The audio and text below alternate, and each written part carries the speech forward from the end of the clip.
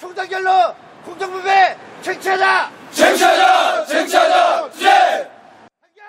노동자들이 작업복 대신 빨간 조끼를 입고 시청 앞에 모였습니다.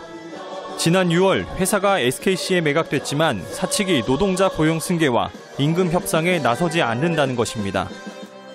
정읍 KCFT 노조는 지난 11월 27일부터 총파업에 들어간 상태입니다. KCFT 경영진은 평화적인 교섭부 장으로 즉각 복귀 하여 머리를 맞대고 평화적 해결에 최선을 다할 것을 공고한다.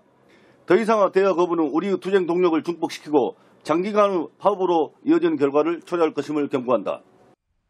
KKR 사모펀드는 지난해 4천억 원에 KCFT를 인수해 올해 SKC에 1조 2천억 원에 매각했습니다.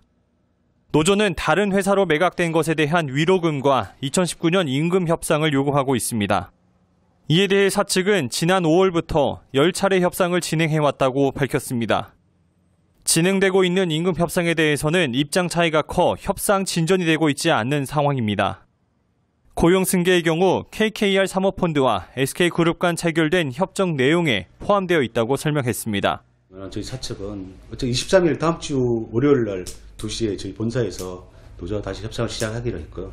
오늘 거기에 맞춰가지고 협상을 적극적으로 아주 계속해서 설득과 또 양보와 또 요청을 해서 둘이 풀어갈 수 있도록 계속적으로 노력하겠습니다.